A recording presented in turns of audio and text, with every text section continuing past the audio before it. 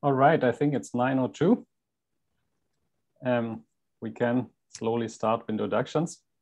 So thank you everybody for joining and everybody who's already here to our third Stanford Medical Mixed Reality panel, uh, this time on haptics and discussing how haptics um, can augment these medical mixed reality experiences. The panel will be led by Joel. Joel was a mechanical engineering student at Stanford then he had uh, several startups. So uh, one way was bringing prosthetics to the developing world. So they developed some really affordable 3D printed prosthetics. He had the um, startup Piper for where they develop stem kits for kids and is currently working on lots of different haptics technology. So Joel, if I can please um, give the word to you. Oh, hey, hey everyone. It's a, a pleasure to be here. Uh, thanks for the to have me here, Christoph. I guess a, a, little bit of my background, like you mentioned, I uh, you know I come originally from a medical device, you know, hammers and nails and biomechanics and physical devices, uh, working with orthotics, wheelchairs, and prosthetics. I could show a couple images so you guys get some uh, context of where I'm coming from and why I think haptics is one of the most exciting areas, especially when applied to to healthcare.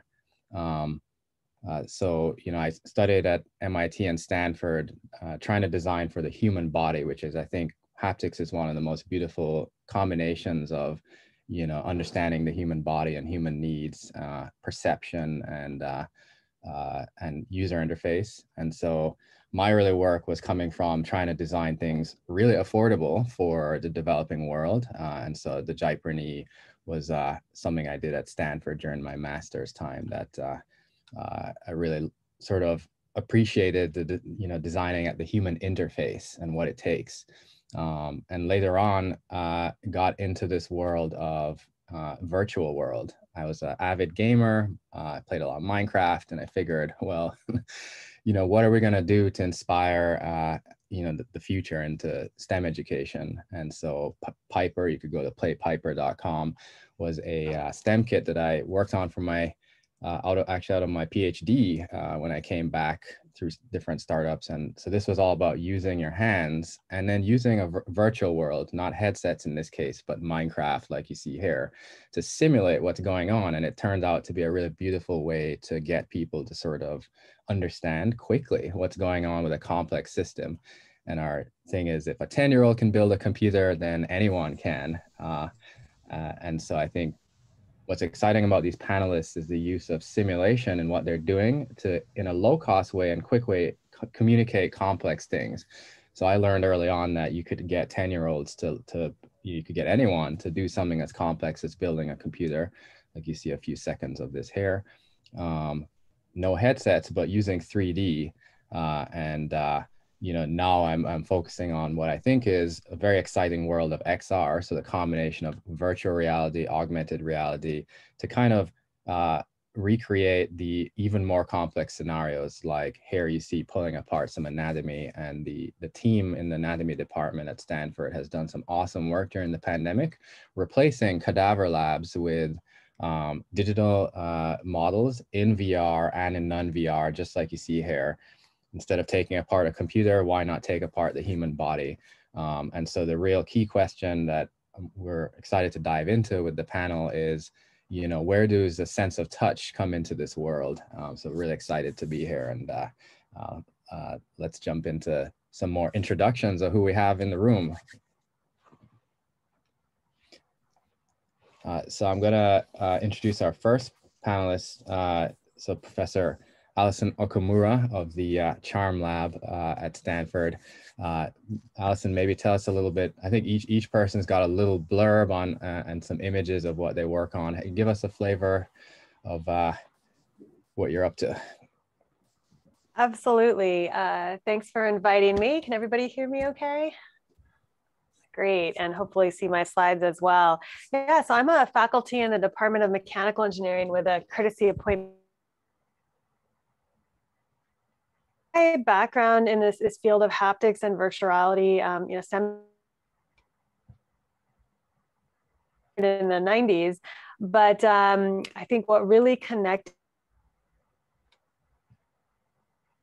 I'm at Immersion, which was a startup company at the time. Allison, just one suggestion, uh, because you're very often cut off, do you perhaps want to turn off your video? That might save a bit of Oh. bandwidth. So not your screen, but not your screen share, but your just your video, Yeah. perhaps to save a little How, bit of bandwidth. how about this? I'm on That's- campus, yeah. so it should be good. but let's try. Let's try this. Thank you. Um, thanks. Yeah, so I, I uh, worked at a part-time at a startup company while I was a PhD student, which really um, uh, actually got, got me into connecting haptic devices to virtual reality for medical simulation. Uh, and then spent 10 years as a faculty member at Johns Hopkins University, where I was very close Stanford for 10 years as a faculty member. So my here who contributed to some of the work I'll, I'll briefly talk about the students with backgrounds in computer science, mechanical engineering, bioengineering, and, and that we do in haptics. And I'll give you a little sampling of that now. So overall, I'm interested in how haptics can enable physical connections between people, whether it's um, a human to another human, a human to a virtual or augmented reality environment, uh, a human and an agent, uh, for example, something that gives you driving directions, um, as, well, as well as humans in the robot environment. Um, I'm going to focus um, in the context of, of, of, this introduction, because I think this is. Uh, Unfortunately, so unfortunately right now, sorry, the, the, the connection is very bad. Is there um, any chance you can connect to, uh, yeah, no, we probably can't connect to LTE or anything, right? Stanford internet seems to be um, unreliable right now.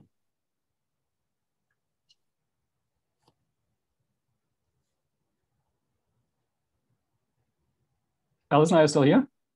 Is everybody able to hear me now? Maybe would it be a I can I can try again, and if it's still bad, maybe we would have someone else introduce themselves while we see if it gets better. Um, I saw a thumbs up though, so I'm gonna hope that it is better now. Okay. Um, yeah, so uh, one of the things that we're really interested in is what is the form of tactile feedback or haptic feedback that's uh, appropriate in medical simulation. So one example is something that combines kinesthetic or force feedback with tactile feedback. Uh, and, and these are things like active surfaces, which have been used to sort of display lumps and bumps in medical simulators. We've also looked at more forms of haptic feedback that provide guidance um, and, and moving away from grounded stationary haptic devices towards ones that are, are holdable or wearable even and uh, trying to use lower cost techniques as, as joel alluded to. Uh, so vibration feedback is in all of our, our cell phones many mobile devices and even in our watches uh, but can we use vibrations as a way to provide uh, more rich information? And one example is asymmetric vibrations, which can help guide people in terms of uh, the, their direction of movement. So these sort of uh, haptic augmentation techniques aren't necessarily just for displaying realism, but can also be used for guidance. Uh, in addition, in trying to, to move away from large, uh, bulky world grounded devices to devices that are more mobile, we've been looking at how do you stimulate the skin on the fingertip in order to provide a, a fairly realistic sense of interaction with an environment as shown here. And then even moving beyond the fingertip, we're interested in how do we stimulate other parts of the body and understand when that's useful. So for example, uh, we're interested in distributed tactile displays that you can wear on the arm, which in the cases of um, augmented or other forms of reality, uh, you may wanna leave the hands and fingers free. It's trying to explore what we can do on other parts of the body uh, that might be realistic. And finally, exploring some of the more social emotional aspects of, of touch, which uh, are maybe not as applicable, for example, to mixed reality in, in surgery, but in other areas of, of medicine, such as rehabilitation and uh, psychology, we look at how the role of touch interactions between people and the devices that can display those touch interactions, which are pre-recorded, how, how those actually can affect someone's uh, emotional state and interpretation. So with these uh, various areas, um, I'm really pleased to int introduce our, our work to you and uh, looking forward to the discussion. Thank you. Thanks a lot. And also that the second half works perfectly. Yeah. Okay, Thanks. great.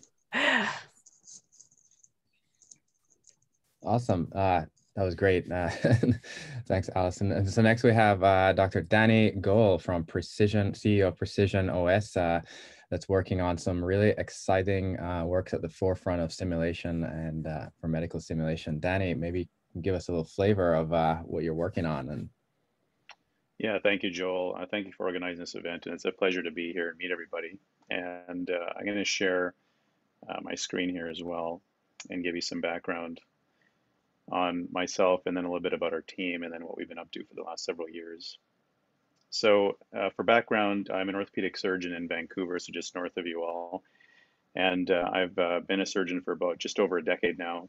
And my interest in all this became apparent when when I started practice and that the trainees uh, that want to become surgeons always want to get their hands uh, into our, our patients and practice their procedures. And for me, that was just not an ideal way to learn. And I think there's other options that should be available for people that are trained to be surgeons to make them much more proficient. And so I got together with some game developers uh, back four years ago. And we started exploring this idea of VR, which I had never seen before.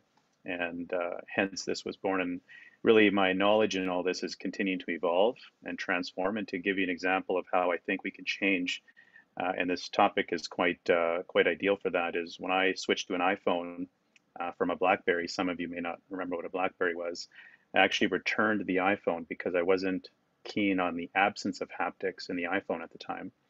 And I wanted the tactile feel of BlackBerry. And I returned the iPhone. And the woman that I returned the iPhone to said, You're the first person ever return an iPhone. and I said, I'm surprised by that because the tactile piece. So this is, it speaks to how over time I've evolved because I've purchased an iPhone again on this idea of haptics and learning.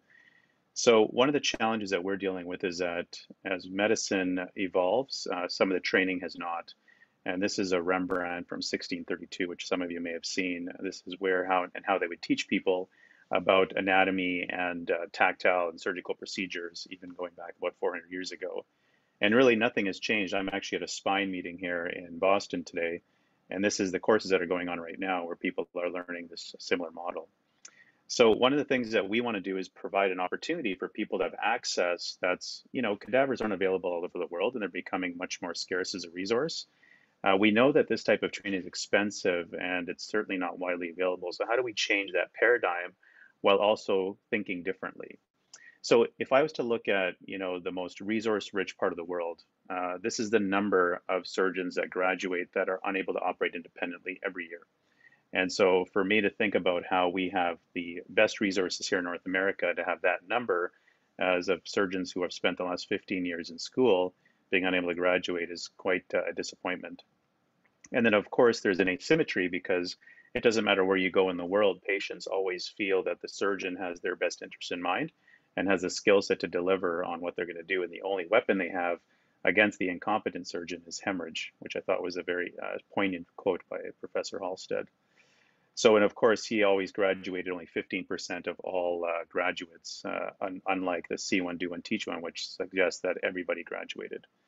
So what we, I'm just going to advance to the next slide. So what we've put together is this idea of how do we create a model that's accessible uh, globally uh, that's certainly available and actually changes how we actually practice uh, how to become a surgeon that introduces idea of haptics at the same time. And I'll talk a little bit about that uh, on the discussion.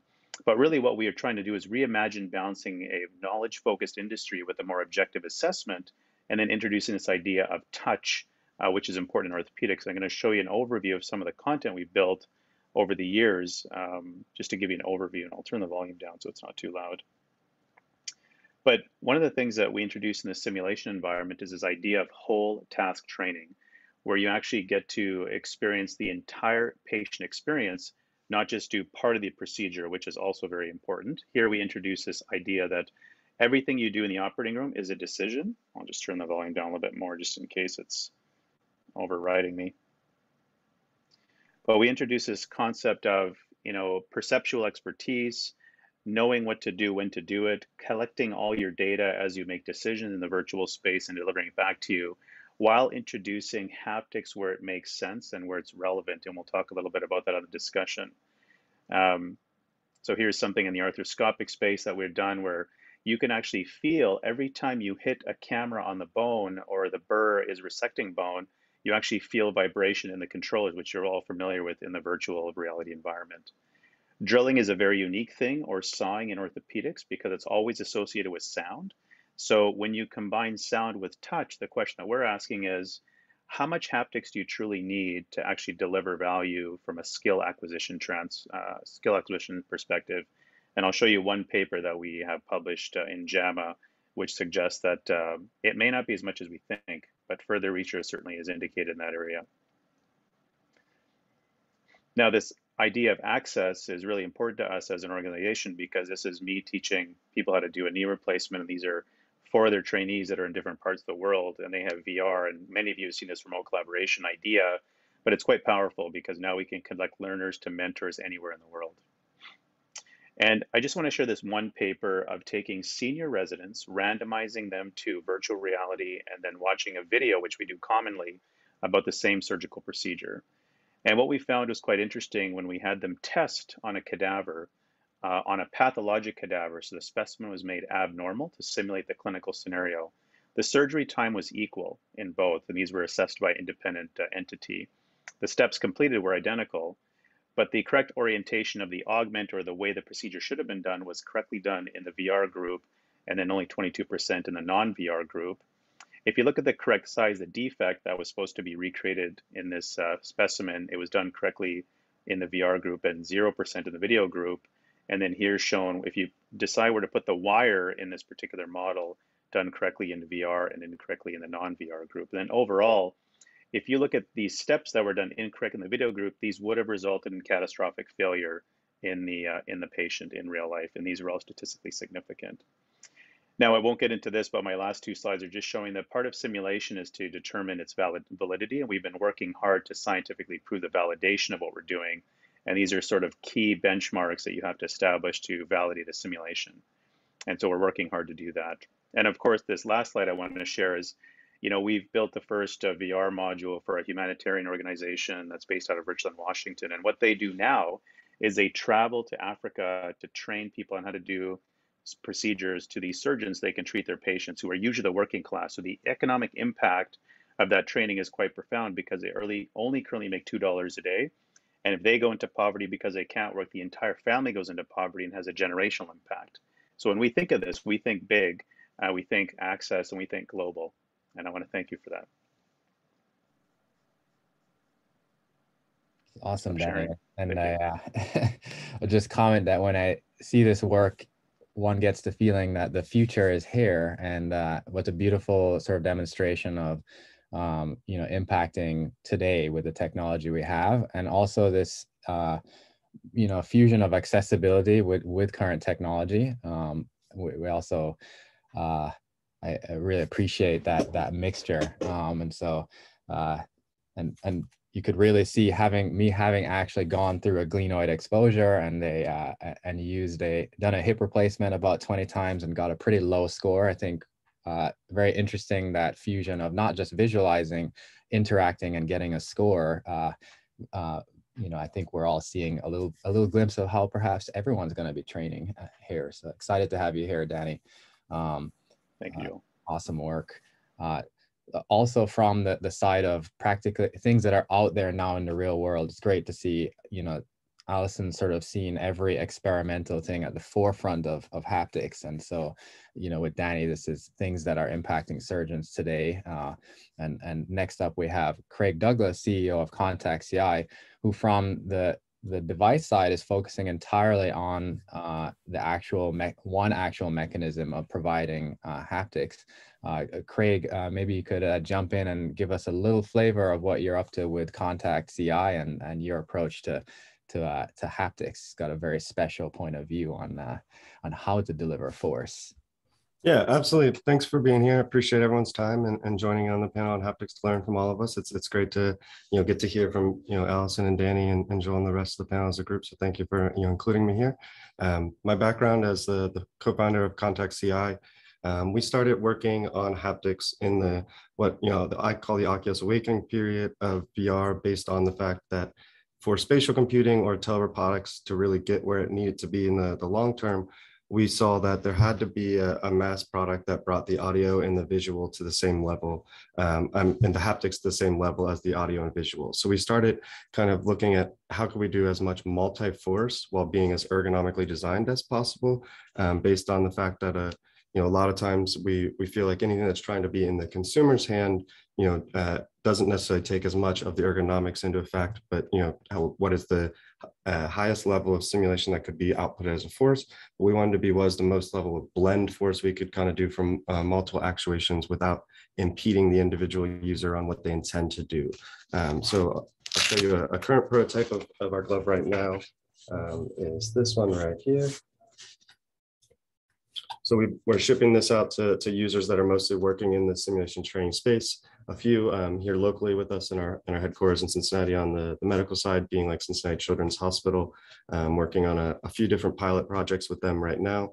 Um, but mostly the, the device is um, an exotendon based system. So you're probably all familiar with exoskeletons, but using a similar force vector, but designed around you know how your tendons run to your finger cap to, to be able to bring you back from there um, as well as you know embedding the vibrotactile on the fingertip. So using those two to kind of blend right on uh, specifically just the fingertip right now from the, the wearable device. Uh, so I have a, a, little video that I want to share to, to show some of the other interactions that are, that are possible inside of VR using it right now. So let me share the screen.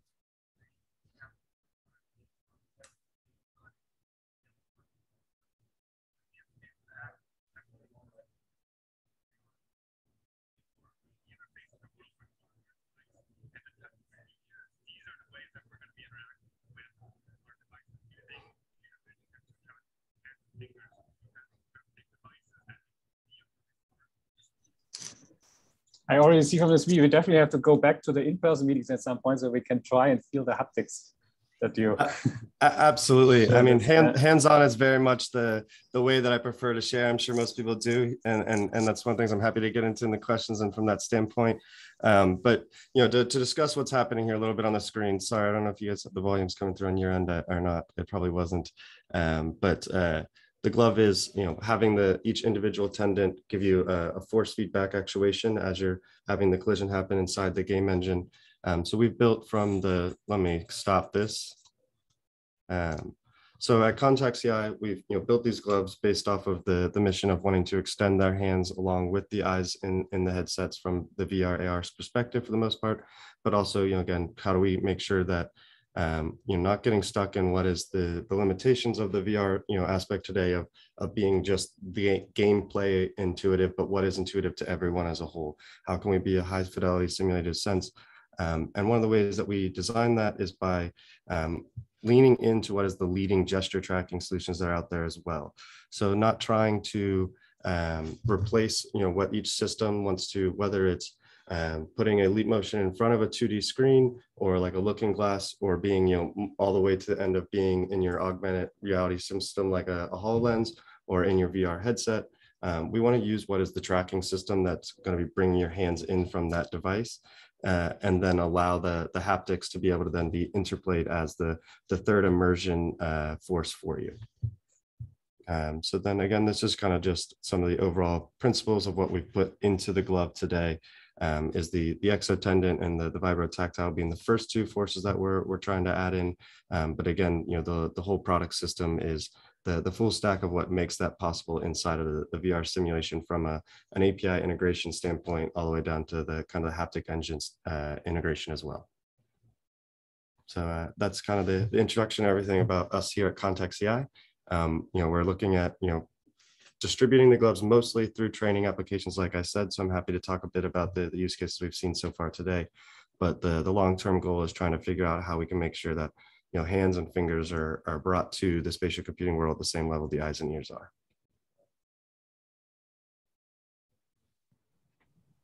Excellent. Thanks, Craig. It's an awesome uh, uh, demonstration of, uh, you know, a device out there in the wild. And as Allison used the term, a grounded haptic device versus a wearable. this is a wearable haptic device. That's maybe what people think of when they think of a haptic uh, glove. Maybe that's the first thing. Grounded being things that are sort of uh, fixed in the world. they're larger devices fixed to your desk or the, or the ground.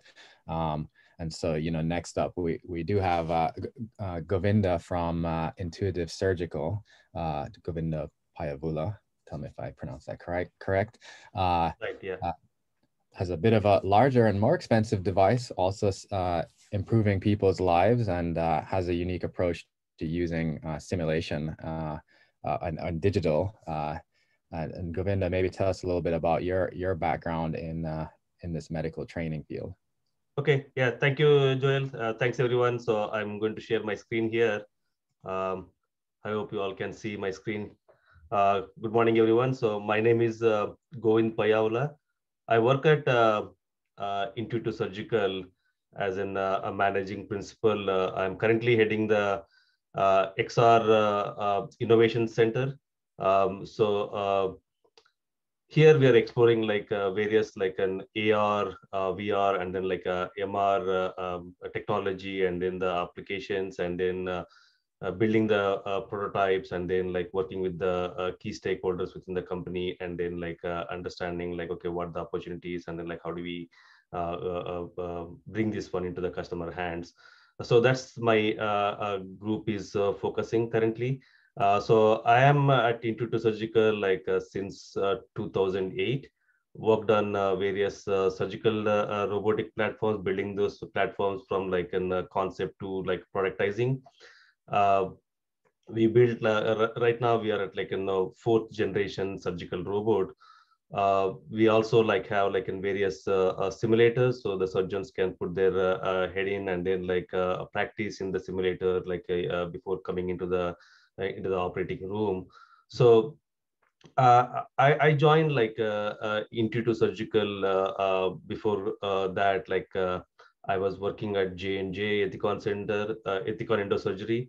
Uh, worked on various like class two and then class three medical devices. Uh, so I'm in this medical industry field for like almost like 20 plus years. ranging from like class three, class two, and then like the the ecosystem around the medical products. So we are in a very exciting phase here, like because like if you see uh, uh, in in this uh, um, diagram uh, uh, on the bottom, you can see that like uh, the Da Vinci Xi system, that's our flagship product. The the surgeon is sitting at the console, and then like they're interacting with this master tool manipulators we call MTMs and then like uh, on the bedside there is a patient and then like so you are uh, uh, uh you have the patient side cart uh, with the instruments installed as the surgeon moves their hands the instruments inside the patient body uh, moves so think of this as like an vr console so the intuitive surgical has figured out that like okay how do we bring in like an best in class and like immersive experience so they went and then like built that uh, uh, VR and uh, console. So it's one of the good example for like a VR. Uh, this this product is in the market uh, uh, for almost like 25 years, and then like almost like 8.5 million surgeries have been conducted, and just alone like last year, like 1.2 million surgeries are conducted. So this this robotic system enables like minimally invasive procedures. So some of the advantages of like uh, this uh, uh, robotic surgery includes less blood loss, reduced pain, and quicker recovery time. So which means like, okay, you can um, uh, get out of the hospital um, much faster and also like less complications because of like uh, all the uh, the benefits that I mentioned. So what it enables to the the surgeon or to the care team is where uh, it, it provides like an uh, immersive 3D HD uh, experience. When you're sitting at the console, when you're looking inside the patient body through the endoscope video, you get the 3D and you have the wristed instrument. So you, which means that like, okay, you can do more, uh, more precise and then like accurate tasks. And then like uh, you have like a high dexterity and then you can filter the tremors. So these are some of the benefits of this robotic surgery.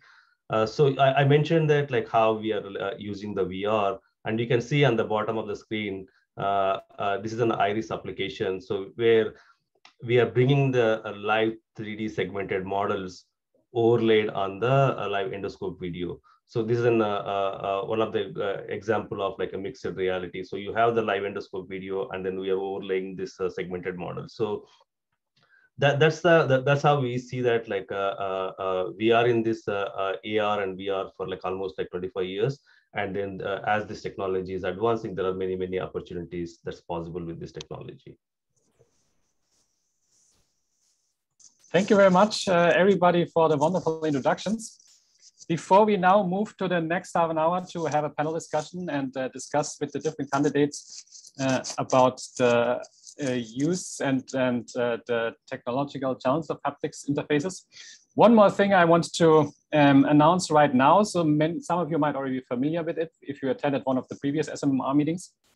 After the panel, we will move to Gather the Town, which is an interactive format that allows you to directly meet the panelists, also meet each other, ask questions, and discuss um, the panel and what has been discussed there in more detail. So it's basically a link that we will post after the panel discussion in the chat.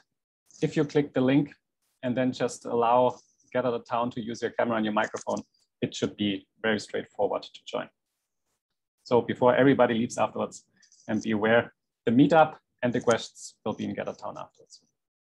All right, Joel. Awesome. And I just want to comment on the, you know, seeing the Da Vinci robot. With, with Govinda, I've during the pandemic, my favorite thing has been to uh, go back and watch my sci-fi library of uh, things. I think I've watched too much Star Trek that I can want to admit publicly, but uh, eh, but the envisionment of people thinking about surgery in the future, I think what's beautiful about everyone here is that we we have everyone represented from the forefront of knowledge and research, right? Of, you know, uh, haptics and all the way to like actually sort of impacting patients on the operating table. So, uh, you know, uh, a fantastic, uh, I'm honored to be amongst, uh, you know, experts at different points in the chain here. Uh, but I do want to jump into a little bit of a discussion on, uh, on the topic. Um, you know, I guess specifically, uh, you know, starting with haptics and why you know what's the big deal why is it important we, have seen some beautiful visuals here and maybe heard a little bit of audio and seen some use cases in the medical field um, and uh, you know i might nominate danny in particular to, to from his like you know experience as an orthopedic surgeon. Well what is the importance of the sense of touch uh, in work that you do? Why do we why do we care about haptics? Yeah, so it's it's a it's a complex question, and I'll certainly I'll start. So touch helps you drive decisions when you're operating, and it helps you drive decisions up to a point where touch no longer becomes uh, important. And an example of that would be someone who's learning to be a surgeon has to have a combination of, and I'll use orthopedics as an example, a combination of touch and sound. But what happens is when the novice starts to break through and become more of an expert they actually forget about the touch idea and become more attuned with the visual piece and the auditory piece of what we do in orthopedics, specifically the visual piece. And Govind will talk about the visual haptic idea of what it looks like when you deform tissue and how you can tell how much pressure you're putting on that.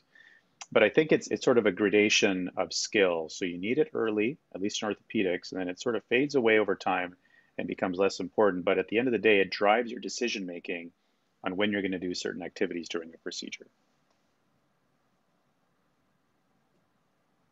Awesome. So an important component in the in the in the process. Um, you know, we have been using the term haptics. I, I think it might be helpful, maybe Allison, to give us a little bit of your synopsis on uh, when we say haptics. I think different people think of different things. You mentioned the cell phone and vibratac vibration. Um, we've seen with Craig with Contact CI, a different style of uh, haptic device uh, that's providing forces in a different way.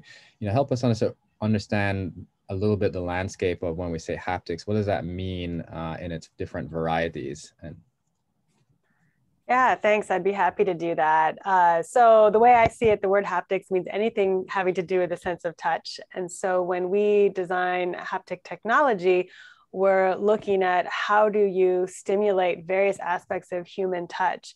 And one aspect of that is, is kinesthesia, measuring typically larger scale forces like joint torques, uh, for example, that would you know, actually cause movement of your body. And, and that's kinesthesia. Um, the other is cutaneous or tactile information, which comes in through small sensors, basically mechanoreceptors, which are embedded in the skin. And I'd say in the field of haptics, um, know, vibration feedback is extremely ubiquitous. It's, it's cheap and, and able to be placed easily in consumer products. Um, and, and, it does stimulate one aspect of, of the mechanoreceptors in the skin. But like I mentioned, uh, the amount of information that you can transmit with it is very limited. It tends to be uh, more of an alert. Uh, whereas uh, kinesthetic feedback or other types of tactile feedback that stretch the skin or, or push on, on, on the fingers in the case of kinesthesia, um, which is more like the device that, that Craig talked about, um, you know, these are things that can provide a much more compelling, immersive environment, provide many more degrees of freedom uh, and, and much more realism.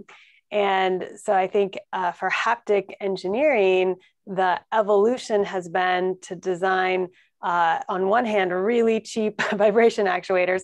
On the other hand, extremely expensive, you know, $30,000 desktop haptic devices that can, can push with a grounded force from your desk onto your hand and now what we're seeing is this is this movement towards towards wearable devices things that allow people to be less encumbered um, you know move in their environment and do the types of of tasks that would really be needed for the types of simulation environments we're talking about today Awesome, awesome. And I, I just from the eBay archives, I figure I'd show this is like the, first, yes. the first haptic device I trained on while I was a student called the Novint Falcon, no longer uh, operating and uh, not a wearable device, so grounded on the table and a, a robotic uh, mm-hmm. uh, actuated device that could render forces. And so that's a little, little blast from the past there, uh, targeted for gaming at, at the time.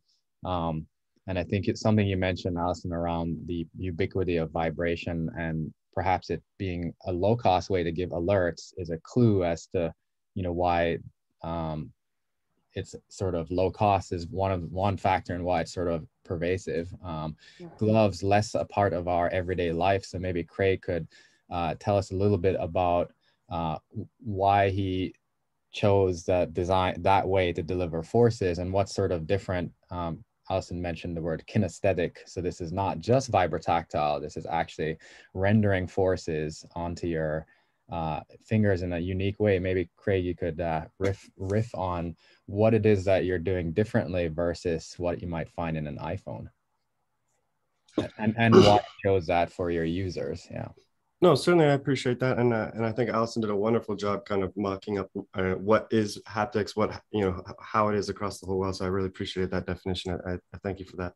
Um, but uh, what we chose to look at it was again some of the the aspect of uh, the range has been very, very high end for right, rightfully end, like being able to do very specific tasks on the surgery table and things that need to be, you know, high precision at the level, or um, the haptic engine on your iPhone being able to give you better games when you're interacting, or like uh, Danny talked about now being able to have your keyboard interact and go forward and that sort, or being able to have your Fitbit tell you when you've gotten your all your steps in for the day, or have your iPhone tell you when you've gone through your heart rate counter. Um, those things are really great for for what they can provide, but in your single fingertip, you has about 15 data points that's picking up at any moment based on the, the receptors that Allison was talking about. Um, and your brain, it's the been picking that up since the moment you came out of the womb, being that the sense of touch is the first sense that you have fully developed when you are born. So your brain has been kind of learning throughout its entire life to uh, have this high end sense of data that it's filtering through at a very fast process that you're not really uh, aware of at all times how much you're bringing in, right? The fingertip itself, if you, you know, blew it up to a um, earth scale device that you're drawing across, you would be able to feel the difference between a, a, car and a house with your fingertip drawing across that, you know, if you were the same scale. So that level of like what you can get from just a vibration when you're trying to, you know, come back to a high simulation level right here isn't enough. Um, so that's like where I think of some of the, the loss of gloves in terms of like, if you think about like, say a power glove or even like the generation of that, which even since it didn't have haptics is what most people think about, um, they're, they're usually based on being a uh, tracking device with just some haptics on top of it, usually being that vibrotactile way. We wanted to look at it as a how can we still use you know ubiquitous, cost-effective parts, similar to the way that the Oculus model was what technologies have already been invented, but now put it in a way that you're not going to um, either be restricting the user because it's again limited in mobility or being in a place where you're not providing uh, too little of information to truly trick the brain, if you will, um, that you're having a tangible interaction with something that's not really real. Um, so that was some of the, like the first thought process behind our designs. Um, but the other aspect came, uh, but really has always been you know, having to stay ergonomic because you know the other aspect of what your brain learns throughout every intuitive interaction throughout your life is you don't have any weight on the back of your palm ever. You know, even if you're wearing a watch, maybe if you're playing goalie or you know playing a baseball mitt, you do, but that's about it. And so the trying to keep it in the human factors of movement that what you would expect in the intention of going to grab an item, being able to do a switch, pick up a hammer, being able to do useful tasks like maybe catch a football, you know, things like that. Um, we wanted to make sure that all of the intention of the user doesn't get impeded but there's still enough uh, multi-force level happening to, to be able to give you uh, differentiations between objects and different things that are happening in the, the physics sense.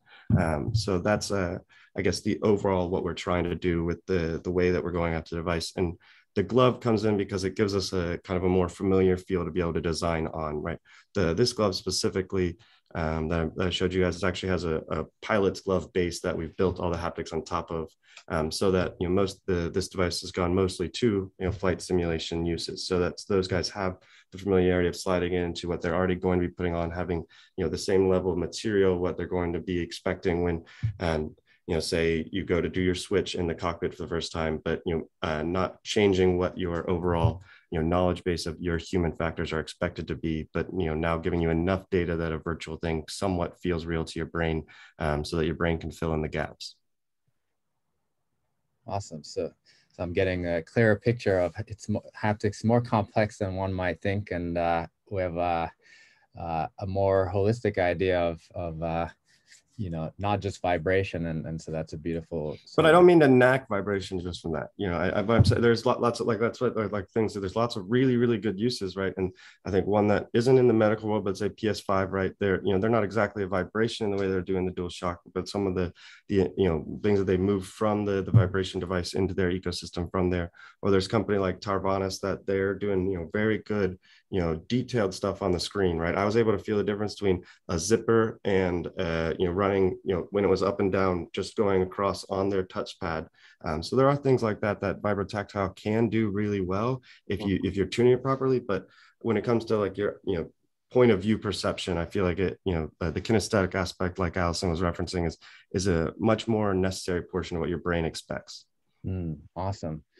And then to, to go to the extreme of uh you know what ha- what happens when uh, just on the visual component, for example, I think Govinda, for, from your vantage point with the with intuitive surgical and the devices, as I understand early on, and, and maybe you could correct if this is wrong, um, these devices maybe don't have the level of kinesthetic haptic feedback that that Craig was just talking about. Um, but I understand it'd be other strategies to give feedback to the surgeons about what they're doing, what their hands are doing, um, and then ultimately for them to to to drive the robot to surgery. So maybe help us understand a little bit about how Intuitive tackled this approach of uh, uh, and and how haptics were handled in this, if if if at all, beyond the uh. Mm-hmm. Yeah, yeah, that's a good question, uh, Joel. Uh, so uh, the way we look at this one is that uh, uh again, like uh, we have various groups and then like various products, and then like so the way a, couple of teams the approach is that like okay, what it means to the to the patient right like so the, the, the look at the patient value first and then like the second one is like the, the, the the surgeon value so like uh, what kind of surgeons are we talking about? Like are they like experts? Are they in uh, novice? And then like so what kind of training they they they got before right? So how much of like a haptics is required for them? And then like so is it the haptics is required for all? Or like is it for uh, uh, only some set of people? And then like if so like for how long they need this one because there is a cost factor involved. There is an uh, uh, um, there is a complexity of like getting this kind of technology working all the time reliably and then like uh, effectively. So and then like does it need a calibration? Does it needs like a, so how do you uh, um, make sure that like it it doesn't affect the workflow? So these are all the things that that will affect us that like okay like can we give an haptics to all so yeah if, if, if it is possible why not right? So but at the same time like there are these challenges. The, uh, the there are some regulatory challenges. There are like uh, uh, sterility challenges. So we need to make sure that like we have an uh, answer for all of this one before we reliably say that okay yes i think here is the haptics. And then like if so do we need this haptics for like a, throughout the procedure or like only certain uh, portion of the procedure? Like so it could be like when you're doing the vessel sealing or when you're doing the stapling. So do you need only during that time or like do you need like uh, uh, uh, all of that? Because then if you need to uh, uh, add some sensors or like some uh, introduce this technology then what it means to the the reliability of the product. And then like what happens like uh, when this particular thing stops working like how do the the surgeons get back into like continue doing the work what they're doing? So these these are the kind of things like uh, there is an amazing work that's uh, uh, uh, uh and then like a lot of people have have done. And then like we we look at that one and then like we try them in the lab. And then like at the same time we also see that like okay like okay what it means to bring into the lab in, into the operating rooms. Yeah, and I'd put out there that the, from what I understand, just the visual, giving a very rich visual sense of what this, what you're doing, uh, you know, has a so-called visual haptic effect. And I think um, Allison uh, knows a lot about, has done a, a, lot of great research in quantifying and understanding, well, how important are these different senses and uh, and maybe one surprise is that to get this the sense of touch doesn't always require rendering a force with great power comes great responsibility as you mentioned with regulatory and so on that the last thing we'd want to do is to uh, have an error on the operating table.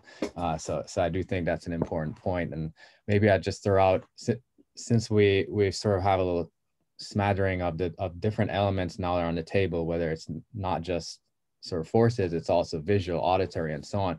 Uh, how, how does haptics and out to the panel, how does haptics sort of line up in the priority of um, medical simulation in general? I think we are understanding it as one component, uh, and I'm I'm sure you, you all have opinions on uh, on the prioritization. But yeah, how do you all see you know where this lies in the in the overall scheme of uh, of getting the task done?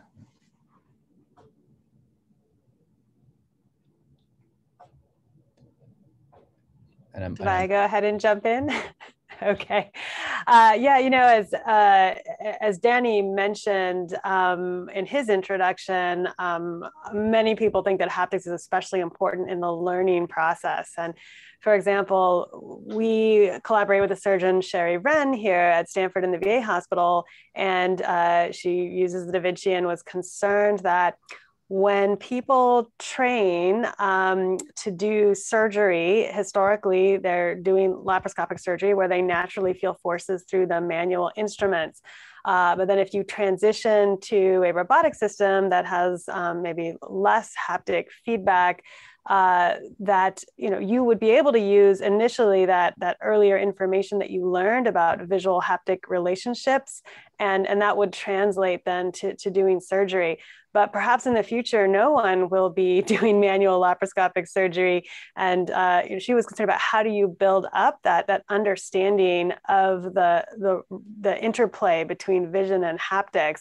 So we've, we've done some studies showing how, you know, training with and without haptics might translate to interpreting visual information. We're trying to directly um, sense using vision uh, and, and machine learning what, what is the haptic information that you might get from just looking at vision. Um, and so I think that the answer is, uh, you know, vision ultimately is going to be more important, I think, than haptics if you're really looking for for a ranking. Um, but but the vision can be more useful, I believe, if there's either a haptic training leading up to it, or or they're they're tied together. And I'd be really curious to see what Govinda has to say about this as well. Yeah, no, I, I totally agree with uh, uh, your comments, Allison. I think, uh, uh, uh, as you all know, like, so uh, we, we have like an, a Da Vinci simulator, like, so the surgeons, like, they, they get trained on the simulator. So that's the perfect place for us to introduce like the haptics and then like see like people who are coming from this laparoscopic surgery. And then like, so if they get trained in this simulators, which has an haptics, do we do they really need this uh, haptics while they're performing the surgery? If so like okay how long they need? I think there are there are these are the kind of questions that uh, uh, we have to understand. Because as i said like okay like if you have the haptics if you can deliver the haptics in an uh, uh, um, in an uh, consistent way yes. But it has like all these implications. So if so then like how do you train these surgeons who are coming from the lab or like from the open world how do you train them with the simulator which has uh, uh, we can enable the haptics there right? So then like if so like how uh, how, how, long they need this uh, haptics even in this uh, uh, training period?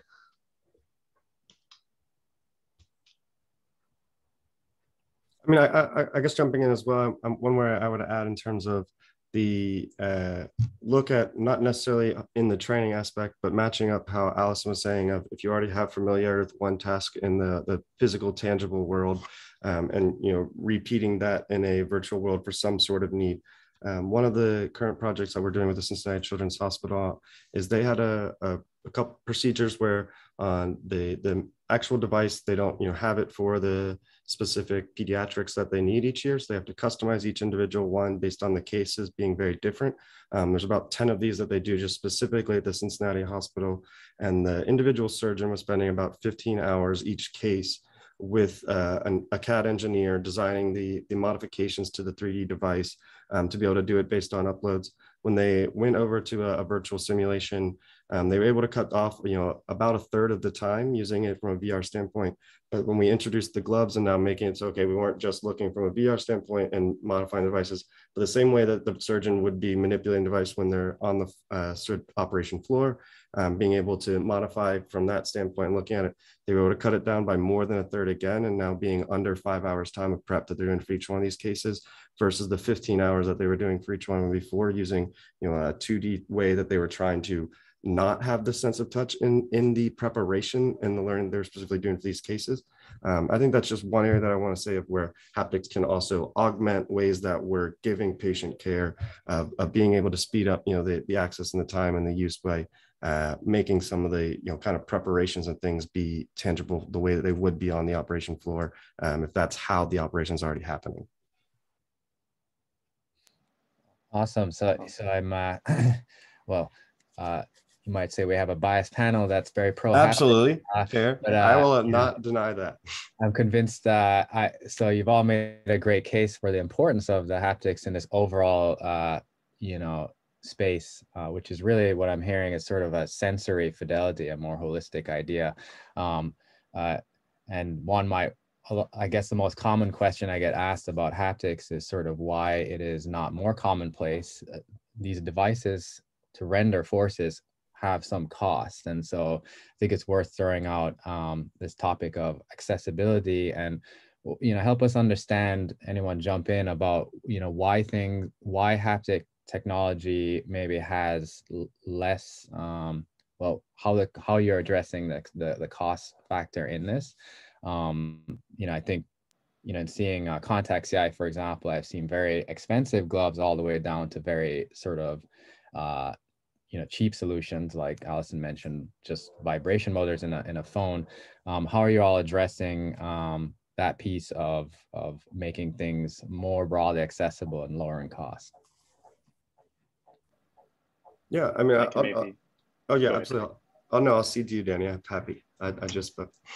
I actually just had a comment on the previous question about um, you know what type of haptics are appropriate where, and I think one of the things that Craig mentioned earlier, which I think is an excellent point, is you build the haptics for the audience that needs them. And one of the things we find is that so if I go to a surgeon and say, and I show them a device and they say it needs more haptics for the trainee, they're imparting their value on the learner, which may or may not be true. And so I think designing for that learner is really, really important. So you build the product for that particular audience. And it speaks to Govind's point about the, the decrease in haptics over time. And one of the analogies that I use often is as you become more of an expert at a sport, whether it be golf, volleyball, or even football, you're actually taught to hold the instruments lighter with less grip, with less grip and firmness to actually have more accuracy when you're doing a particular uh, type of sport or whatever. And when you're dissecting through tissue, and I can comment on that, you don't hold the forceps and the the shears or the Metzenbaums tight. You actually hold them with less intensity than you would if you're a, a novice learner. And I'll answer the, the second question, which is the idea of cost. It's the same approach. Is how do we deliver? So you have to assess what the outcome is, and then you build back from there to see what haptics are required to achieve that skill. And so that's what will basically tell you what's accessible or not, or if you want to deliver that outcome, could you deliver that same outcome on a broader scale using the least amount of haptics that you require? And that's how we look at it from a cost perspective is what's scalable, not just here, but all over the world, and what's the outcome that we want to establish, and can we achieve that outcome with the minimal amount of haptics? I, I, I, would say that's spot on. I, I, mean, even from my bias standpoint, I agree. Right, the part of the I think Allison I, I referenced it once said the the perfect spectrum of you know things have been too low in the force they provided or too expensive in the um, in the way that they can be accessible. You know, a lot of the times in terms of the the haptic side of things. So I think what you know as Danny's saying is specifically designing. You know, if you're going to be adding a haptic, to making sure that the cost value of what you're restricting on the user to add another device or to be doing thing is worth the the data come back on that side. I, I, do have one small thing that I would be interested to hear your thought on, Danny, though, of what you just said about the gripping lighter. Is that, you know, uh, for example, like, I mean, you said, you know, in the sporting world or in the golf side, or, you know, uh, it's from you, you now don't need that sense of touch. But from my understanding, it would be more of that you actually now have a, a kind of a higher attuned, you know, sense to what you need to be feeling so that like if you can, you know, if there is an action that happens from the device, you're more likely to be able to react and know what's going on. So that the that's where the i guess the argument from the what again Allison was saying on the kinesthetic or the higher fidelity aspects of of kind of looking at you know if there is something that is a you know more attuned later on maybe that could be beneficial as well so again i i think the way of addressing the spectrum is building for the user and not over over propagating but i was just curious the thought on on if, if that could be just being more attuned specifically that that uh, example and I'll just jump in. It's okay. We're gonna go a little bit over time. Uh, oh, my bad. I didn't realize where we were. Uh, uh, it's okay that we'll hang on for uh, 10:05 before we move over to GatherTown. But yeah, Danny, what uh, what quickly do you have to? this is an excellent discussion. So I think it's this transition, and as Allison mentioned, you transition to be more visually oriented. And so what I'm finding is when I observe what I'm in surgery, what I'm actually paying attention to, I'm actually disassociating with what's in my hand and becoming much more visually attuned. Mm. So, but it's learned over time. So I probably started holding those shears or those Metzenbaums much more firm. And then I graduated, graduated quote unquote, into a much less sensitivity because I'm more attuned on the visual side. So, but it's an excellent, an excellent question, excellent point. Appreciate the, the explanation. Uh, so I'll throw out a lightning a lightning round question as we close out, and bring your questions to Gather Town to talk to the panel. As uh, we could go on for I could talk all day uh, to learn from you all. Um, what are you most excited about uh, for the future of uh, of haptics in, in the different fields that you're in? Um, what's the top of your what's your ex most exciting, and what's on, on the top of your wish list uh, to fill in the gaps? Yeah, maybe uh, I can go first. So uh, definitely, like uh, uh we we see an, a strong need of like haptics, definitely for the learning uh, uh, because Uh, we need to train like not only the surgeons, like the OR staff or the care team, like who are uh, uh, interfacing with our robots, and then like if we have to train the this many people, and then like so we need to have a way to train them in a VR and then provide the same sense of like okay like they're they're interfacing with the the physical robot. And then like so i think if you look at that one uh, there, there is an, uh, a lot of opportunities with this XR, and then like definitely like haptics is, is, is going to play a key role there because these are all the people like who haven't touched, and then like so they need to have this uh, sense of like touch, and then like okay, what it means like if I'm moving the arm to one location to another location. So I think uh, uh, I see that like okay, like the the what, what I'm seeing like uh, the the the the work that Craig has done, and then like Danny's Precision OS, they have done an amazing job, and then like we can see uh, this kind of uh, uh, products it's going to provide a, a good training for the, the, the care team I'm really excited about um, about augmented reality and really understanding what does haptics mean and what should it be in augmented reality where the augmentation is not just visual but haptic right you reach out and physically touch a real object but you want to use haptics to somehow modify how that object feels. Um, so the integration of a vision and touch, the, the need for better tracking systems and haptic devices that are commensurate with still having your hands free to, to you know, interact with real physical objects at the same time as getting this augmented virtual information. Uh, there's just a vast space to be explored. And I just feel like we've barely touched the surface of that. Absolutely. I, I, I would say for, from well, my most excitement right now is kind of a little bit of an answer to Joel's last question of part of why haptics can become more accessible right now is there's a huge momentum around lots of developments of technologies, whether it's on the robotic side, whether it's on the tracking side, whether it's on you know sensors becoming a lot more cost effective, whether it's you know different motors or you know uh, Arduino boards and things like that are allowing you know democratization of you know building prototypes and people doing things on their DIY scale. Um, I think there's a lot of stuff that are attracting you know the the uh, knowledge uh, and need for you know the tactile way of uh, interacting with the computer right now. I think there's a lot of momentum from that as a whole. So that's one of the things i think is most excited is just more people being aware of their desire i guess for a haptic experience in the in the virtual and uh, digital worlds. Yeah and i'll echo everything that every everybody said. Uh, in addition to what i'll add is you know i'm excited for you know patients and physicians moving forward because i think we're moving into a completely different era of learning haptics is an important part of that, and it speaks to one of the key elements that's been missing from people who are in sort of the non-accessible parts of the world that can do more than just watching a video, or reading a book, that can actually have an experience. Then haptics will be the final frontier, I think, that's scalable and accessible to help deliver that across the world. Well said.